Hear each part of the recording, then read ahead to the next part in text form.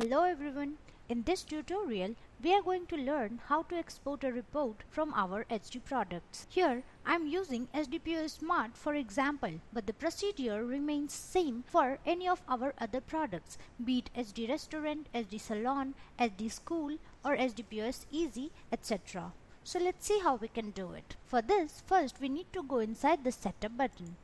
Inside setup button, we have all the different modules available. We need to go inside the reports module.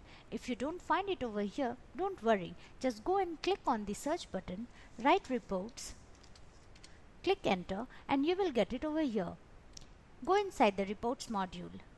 As soon as you go, you will see all the reports that we have in our system appears over here and all the report definition groups appear on the left hand side.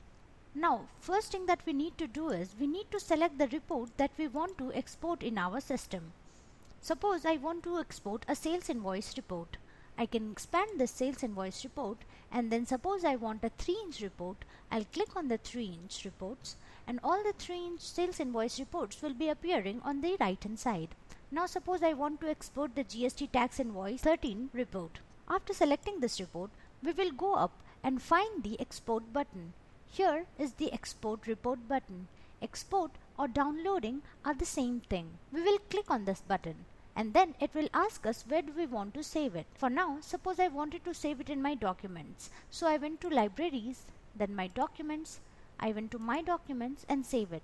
You can also save it on your desktop or suppose if you want to save it in C drive or D drive, you can select any path wherever you want to save your report.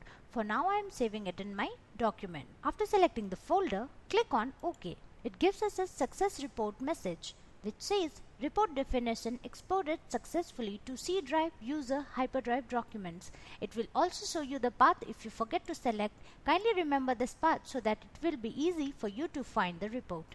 Then click on OK. Now since I have selected the library, my documents, I can go there and find my document has been exported or not. So I've entered my computers. I'm going to my libraries, my documents. Inside my documents, you can see the GST tax invoice report number 13 has been exported successfully. So this is how you can export a report in HDPOS Smart or other products very easily. Hope this tutorial was helpful for you. Thank you for watching.